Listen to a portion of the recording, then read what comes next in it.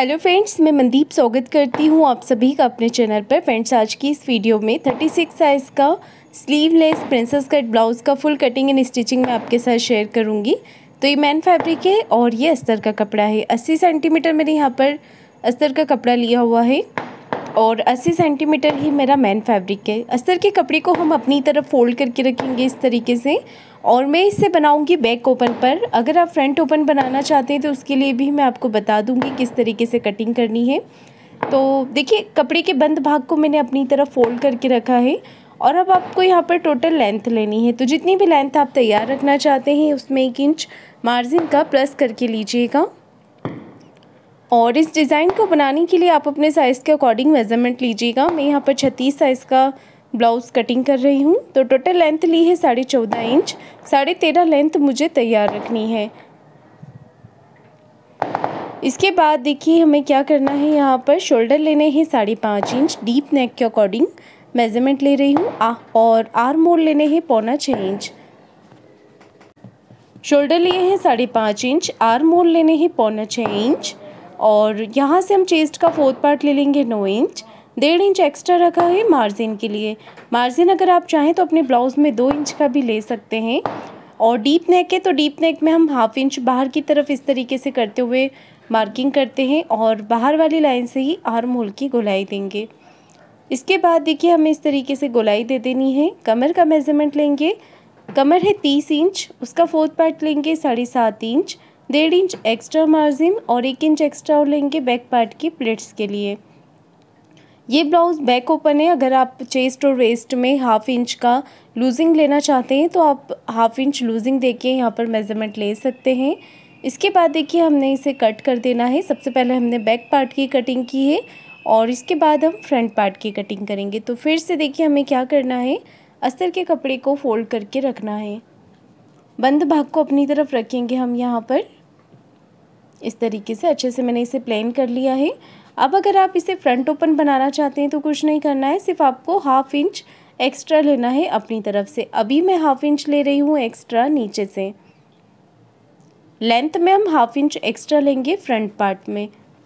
Front part में हमें extra लेना है हाफ़ इंच और हाई हुक की पट्टी का अगर आप इसे फ्रंट ओपन बनाना चाहते हैं तो हाई हुक की पट्टी का आप हाफ़ इंच यहाँ से एक्स्ट्रा लीजिएगा। उसके बाद देखिए आपको क्या करना है यहाँ पर। बैक पार्ट को रख लेना है हाफ़ इंच छोड़ते हुए। बाकी सारी मार्किंग आप ये हाफ़ इंच हाई हुक की पट्टी का छोड़ते हुए कीजिएगा।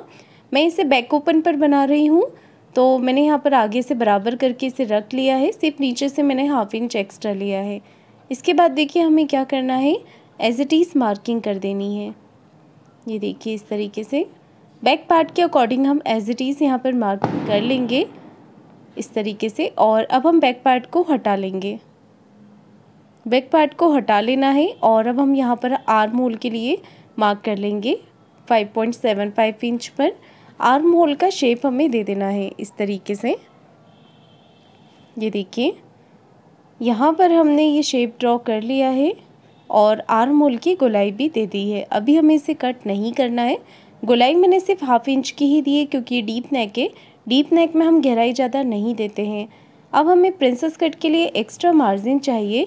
तो यहाँ से हम लेंगे आर्म उस तरफ़ से एक इंच और नीचे कमर की तरफ़ से ले लेंगे हम दो इंच एक्स्ट्रा आप बढ़ा कर ही लीजिएगा, कम मत लीजिएगा, अगर आप बढ़ा कर लेंगे तो फिटिंग करते समय हम इसे कट करके निकाल देंगे, अगर एक्स्ट्रा पार्ट होगा तो. और अब हम इसे कर लेंगे कट तो हमारा फ्रंट पार्ट भी यहाँ पर देखिए कट हो चुका है.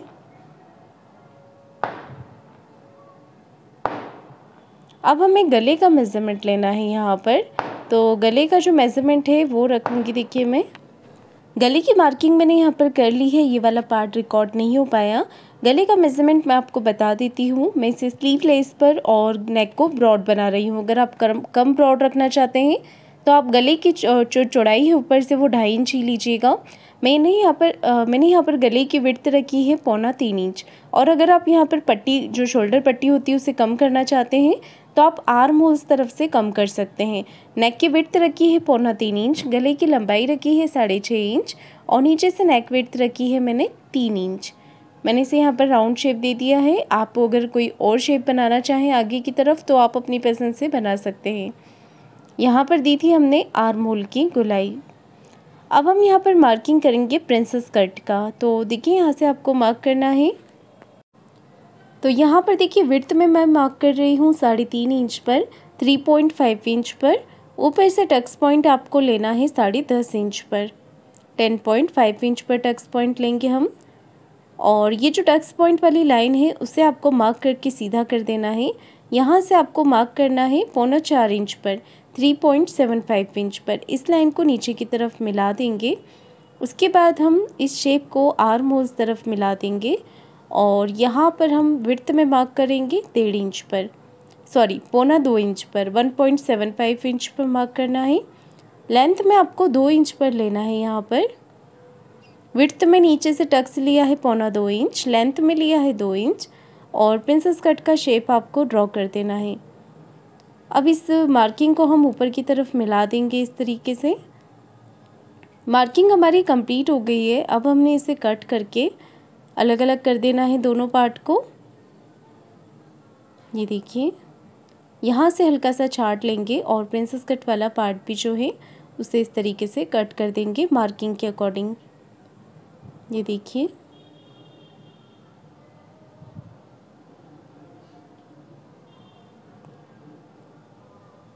अब हम बैक पार्ट फ्रंट पार्ट की कटिंग हो गई। बैक पार्ट का गला कट करेंगे यहाँ पर। गले के लिए मेज़रमेंट लेंगे। तो नेक तो मैंने आपको बताया था, पौना तीन इंच ली है। अगर आप कम रखना चाहते हैं तो ढाई इंच भी ले सकते हैं। गले की लंबाई ली है साढ़े दस इंच और नीचे से नेक तो ली है साढ़े तीन इंच तो पीछे का गला आप अपने अकॉर्डिंग बना सकते हैं, जैसा भी आपको बनाना होगा। मैं यहाँ पर पॉट शेप बना रही हूँ डीप पर फैला हुआ यहाँ पर पॉट नेक बनाएँगे। और दोनों ही गले में हम लगाएँगे पेपर पेस्टिंग अभी मैं इसे मैन फैब्रिक पर कट कर लेती हूँ. मैन फैब्रिक पर मैंने इसे कट कर लिया है और एक आसान तरीका बता रही हूँ पेपर पेस्टिंग पर इसे ड्रॉ करने का. पेपर पेस्टिंग को आपको डबल फोल्ड करके क्रीज बना लेनी है मतलब कि सेंटर में एक लाइन बना लेनी है और इस लाइन के यहाँ से आपको पेपर पेस्टिंग को इस तरीके से रख लेना है. क्रीज आपको दिख रही होगी, वहीं से आपको इसे रखना है. और मार्किंग आपको ऊपर की तरफ़ दिख रही होगी तो इसी तरीके से मार्किंग कर लेनी है। साइड से वन इंच एक्स्ट्रा लेते हुए आपको मार्क कर देना है और इसे कट कर देना है। तो ये बहुत ही आसान तरीका है। अलग से आपको पेपर पेस्टिंग पे आपको मेज़रमेंट लेने की ज़रूरत नहीं पड़ती है। और अब हम इसे कट कर लेंगे। इसके बाद मैं आपको सिलाई के समय बताऊँगी। फ्रंट वाला नेक कैसे कट करना है आपको। आगे और पीछे के दोनों ही पार्ट पर हम पेपर पेस्टिंग लगाएँगे जिससे कि आप, आपके ब्लाउज़ में एक बहुत ही अच्छी फिनिशिंग आ जाएगी। बहुत ही फिनिशिंग के साथ आप इसे बना सकते हैं। ये एक्स्ट्रा फैब्रिक लिया है अस्तर वाला उसके ऊपर इसे रखकर आप पेस्ट कर लीजिएगा या फिर सिलाई लगाकर आप इसे अटैच कर दीजिएगा। सारे ही पार्ट आपको साथ में रख लेने हैं। तो चलिए अब हम करेंगे इसकी स्टिचिंग बहुत ही आसान तरीके से आपको इसकी स्टिचिंग बताऊँगी। और फिटिंग लगाना भी सीख सकते हैं। वीडियो को पूरा ज़रूर देखिएगा लास्ट तक। एक और पेपर पेस्टिंग मैंने इस तरीके से लिया है, जैसे हमने बैक का कट किया था। और इसके बाद इसे भी हम देखिए, इस तरीके से मार्क कर लेंगे। साइड से वन इंच एक्स्ट्रा लेते हुए मार्क कर लेंगे और इसे कट कर देंगे। ऊपर से हाफ़ इंच छोड़ते हुए कट कर रही हूँ। एकदम से गला हमारा, अगर हम पूरा इसे कट कर देते हैं तो गला फैल जाता है। तो आधा इंच छोड़ते हुए कट कीजिएगा। अस्तर वाला एक्स्ट्रा फैब्रिक आपको लेना है और उसके ऊपर इस तरीके से एक सिलाई लगाकर इसे अटैच कर देना है। एक्स्ट्रा फैब्रिक को आपको कट करके निकाल देना है इस तरीके से और अब हम इसे साइड से फोल्ड कर लेंगे। फिनिशिंग के साथ आप इसे नेक को फोल्ड कर लीजिएगा इस तरीके से। ये देखिए, अब हम इसे डबल फोल्ड करके यहाँ पर सेंटर मार्क कर देंगे। इस तरीके से हमने यहाँ पर सेंटर मार्क कर लिया है। सेंटर में कट लगा दिया है। इसके बाद देखिए क्या करना है। यहाँ पर दोनों पार्ट को हम साथ में जॉइंट कर लेंगे। मैन फैब्रिक और अस्तर के कपड़े को इस तरीके से साथ में जॉइंट कर देना है।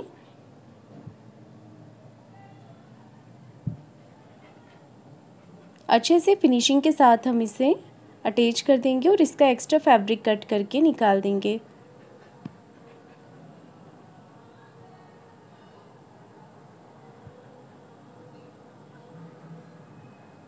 एक्स्ट्रा फैब्रिक को कट करके निकाल देना है और इसे डबल फोल्ड करके आपको सेंटर मार्क कर लेना है।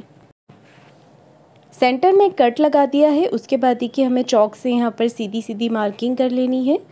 उसके बाद हमें यहाँ पर ब्लाउज़ के सेंटर मार्किंग से सेंटर मार्किंग मिलाते हुए एक रफ़ी स्टिच लगा देंगे और यहाँ पर नेक के अकॉर्डिंग हमें सिलाई लगा देनी है। तो बिल्कुल पेपर पेस्टिंग से चिपकाते हुए हम दोनों तरफ़ से सिलाई लगा लेंगे। इस तरीके से। और अब हम इसका एक्स्ट्रा फैब्रिक कट करके निकाल देंगे। सेंटर से आपको कपड़े को कट कर देना है और पूरे ही पैटर्न पे छोटे छोटे कट लगा देने हैं। ये कट लगाने से गला आपका अच्छी तरीके से पलट जाता है।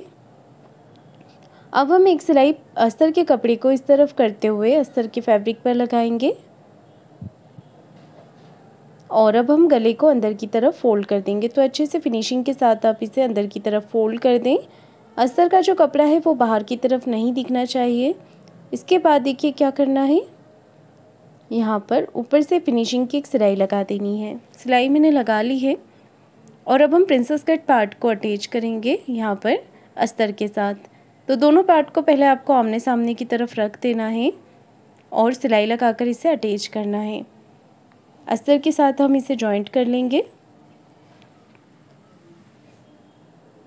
एक्स्ट्रा फैब्रिक को आपको कट कर देना है और दूसरा पार्ट भी इसी तरीके से तैयार कर लेना है।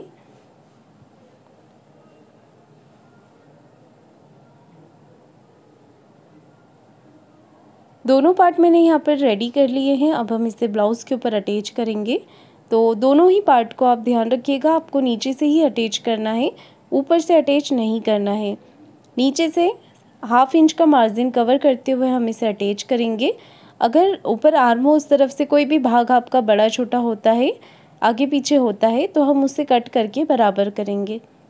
तो आप देख सकते हैं, मैंने नीचे से ही जॉइंट किया है और दूसरा वाला पार्ट भी मैं नीचे से ही जॉइंट करूँगी। आर्म हो उस तरफ़ से आपको नहीं करना है। दोनों पार्ट हम नीचे से जॉइंट करेंगे और इसके कॉर्नर पे भी एक सिलाई आप लगा सकते हैं ताकि धागे ना निकलें। ये देखिए, दोनों पार्ट हमने यहाँ पर अटैच कर दिए हैं। प्रिंसेस कट के और अब हम करेंगे आर्म होल की गहराई। तो जितनी मैंने आपको बताई थी हाफ़ इंच की, क्योंकि स्लीवलेस भी है और यहाँ पर डीप नेक भी है तो सिर्फ़ हाफ़ इंच की गहराई करेंगे। अगर आप इसमें स्लीव्स लगाना भी चाहते हैं तो मेज़रमेंट सेम रहेंगे। आप इसमें स्लीव्स अटैच कर सकते हैं। दोनों तरफ़ से मैंने यहाँ पर इसे सिलाई लगाकर पैक कर दिया है। और अब मैं यहाँ पर लगा रही हूँ कमर पट्टी। कमर पट्टी की चौड़ाई ली है मैंने डेढ़ इंच और नीचे से हाफ़ इंच मार्जिन कवर करते हुए हम कमर पट्टी यहाँ पर अटैच कर देंगे इस तरीके से। कमर पट्टी को आपको अंदर की तरफ़ फोल्ड कर देना है फिनिशिंग के साथ और सिलाई लगा लेनी है। तो कमर पट्टी लगाने के साथ ही हमारा जो फ्रंट पार्ट है वो बन के पूरा कंप्लीट हो गया है। ये देखिए। तो अब हम यहाँ पर रेडी करेंगे अपना बैक पार्ट बैक पार्ट को मैन फैब्रिक और अस्तर के साथ आपको अटैच कर देना है. एक्स्ट्रा फैब्रिक को कट कर दिया है और अब हम इसे डबल फोल्ड करके करेंगे सेंटर मार्क ऊपर और नीचे की तरफ़ सेंटर मार्किंग आपको इस तरीके से कर देनी है. चौक से सीधी सीधी मार्किंग करेंगे. उसके बाद हम अपना ये वाला पेपर पेस्टिंग वाला पार्ट लेंगे. मैंने बैक साइड में बनाया है पॉट नेक आप अपनी पसंद से कोई भी नेक बना सकते हैं अपनी पसंद से, जैसे स्क्वायर हो गया राउंड शेप हो गया। इसे भी मैंने सिलाई लगाकर अटैच कर दिया है। इसका एक्स्ट्रा फैब्रिक कट करेंगे और इसे साइड से फिनिशिंग कर देंगे फोल्ड करके। तो मैंने इसे फोल्ड कर लिया है। अब हम इसका भी सेंटर मार्क कर, करेंगे और सीधी सीधी मार्किंग यहाँ पर कर लेंगे। ऊपर की तरफ़ आपको एक छोटा कट लगा देना है इस तरीके से।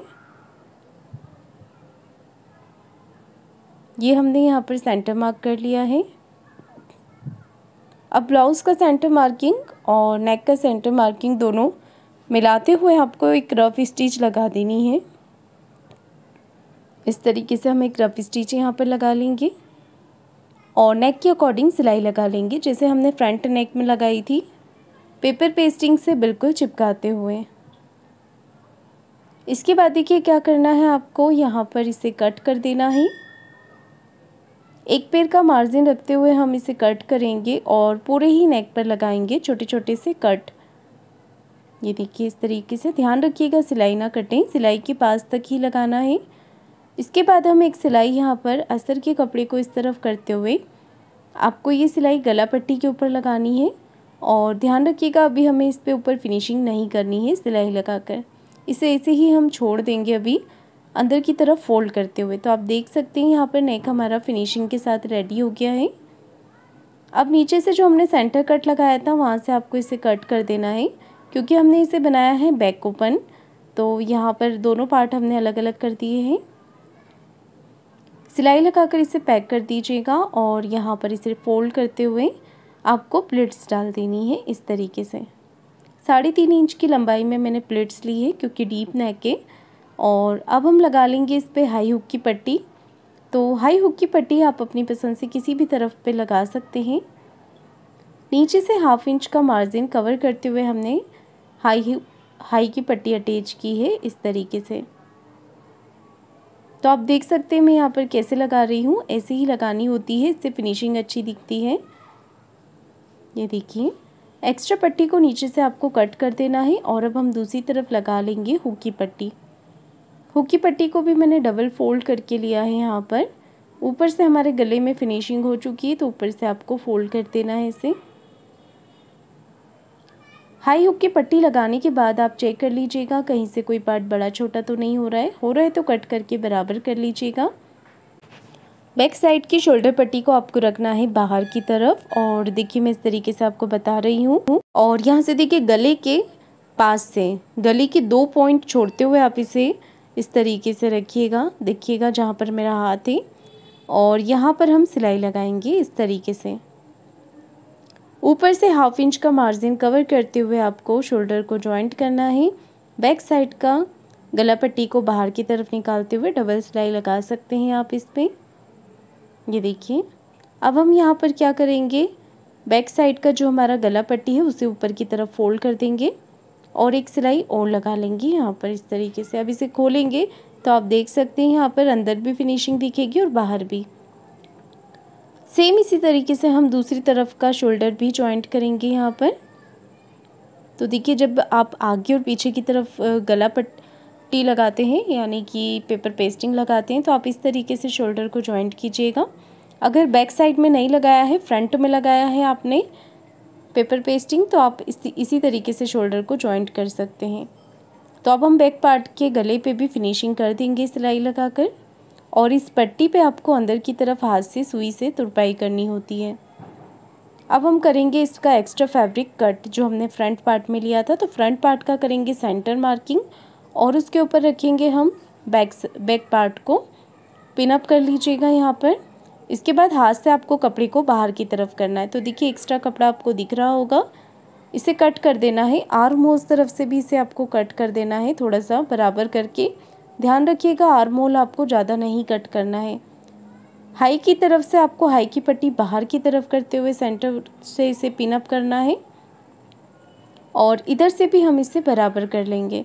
तो ये पार्ट हमारा कटिंग में खुल गया है तो उस पर मैंने सिलाई लगा दी है।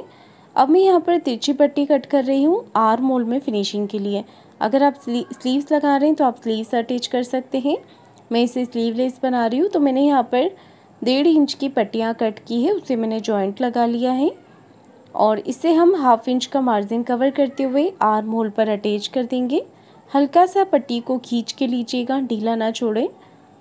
इस तरीके से ज़्यादा भी नहीं खींचना है, नहीं तो सल आ जाएँगे। थोड़ा खींच के लीजिएगा, ज़्यादा नहीं खींचना है। और पट्टी को अटैच करने के बाद इस पर आपको छोटे छोटे कट लगा देने हैं ये देखिए इस तरीके से। कट लगाने के बाद पट्टी को हम एक सिलाई इस तरफ़ करते हुए पट्टी के ऊपर लगाएँगे। इसके बाद हम इसकी जो एक्स्ट्रा पार्ट रहेगा उसे कट कर देंगे। फिर इसे हम सिंगल फोल्ड करेंगे इस तरीके से। एक सिंगल फोल्ड करना है। फिर इस पट्टी को हम पूरा अंदर की तरफ़ फोल्ड कर देंगे और ऊपर फिनिशिंग की सिलाई लगा लेंगे। सेम आपको दूसरी तरफ़ का पार्ट भी इसी तरीके से आर्म होल पर फिनिशिंग दे देनी है। ये देखिए फिनिशिंग के साथ आप, हमारा यहाँ पर आर्म होल रेडी हो गया है। दूसरी तरफ़ का भी मैंने इसी तरीके से कर लिया है। अब मैं इसे इस तरफ़ करते हुए एक सिलाई लगा लूँगी यहाँ पर ब्लाउज़ के सीधी तरफ़। तो ये गुम सिलाई होती है जो अंदर की तरफ़ चली जाती है। सिलाई लगाने के बाद भी मैं एक्स्ट्रा फैब्रिक कट करूँगी। अब अपने ब्लाउज़ को आपको उल्टा कर लेना है मैन फिटिंग लगाने के लिए। मैंने अपने ब्लाउज़ को मैन फिटिंग के लिए उल्टा कर लिया है और सेंटर मार्क कर लिया है। सेंटर से हमने यहाँ पर मार्क किया है, छत्तीस साइज़ का फोर्थ पार्ट ले लेना है नौ इंच कमर का ले लिया है साढ़े सात इंच फिटिंग की सीधी सिलाई लगा लेंगे। सेम इसी तरीके से दूसरी तरफ़ का पार्ट भी आपको फिटिंग कर लेना है। चेस्ट और वेस्ट का फोर्थ पार्ट ले लेना है। तो फ्रेंड्स हमारा ये जो ब्लाउज़ है, वो बन के रेडी हो गया है। आपको आज का ये वीडियो कैसा लगा है, मुझे कमेंट करके ज़रूर बताइएगा। वीडियो को लाइक शेयर ज़रूर कीजिएगा और चैनल को सब्सक्राइब ज़रूर करें। धन्यवाद।